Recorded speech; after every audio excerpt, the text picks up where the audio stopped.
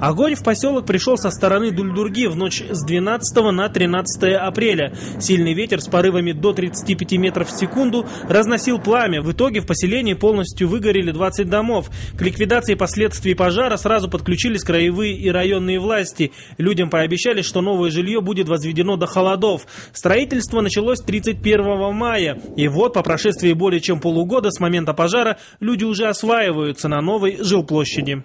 Конечно, довольны. Если сказать э, словами одной жительницы, она говорит, что о таком доме и не мечтала. Дома строители сдавали, что называется, под ключ. Все они электрифицированы, на каждом установлены пластиковые окна, обшиты сеней. Семья Цингуевых в новый дом переехала почти месяц назад. Построен он из бруса, поэтому до усадки внутренняя отделка проводиться не будет. Перегородки это строители на будущий год, говорят, сделают где зал, где детская спальня, так сделают.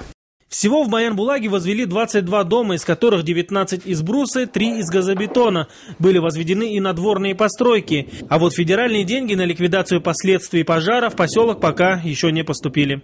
Батар Ламбаев, Екатерина Станиславская и Евгений Погорелов. Новости дня. Забайкальский край. Село Баян-Булак.